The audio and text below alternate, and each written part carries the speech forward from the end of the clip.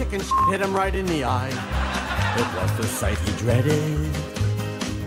Ghost chickens in the sky.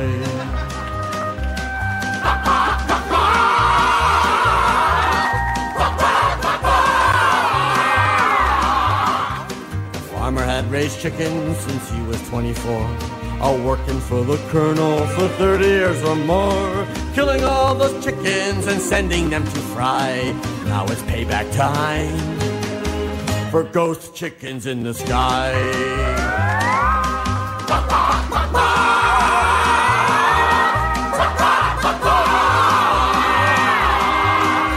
Their beaks were black and shiny, their eyes were burning red. They had no meat or feathers, these chickens were dead.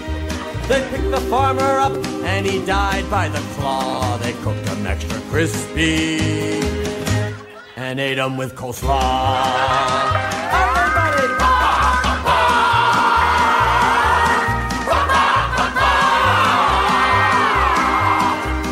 Moral of the story, be careful who you eat. Cause there's no more painful death than to be rotisserie. Please go have a burger and pass the colonel by, and maybe you'll survive. Ghost chickens in the sky. Everybody! Ghost chickens in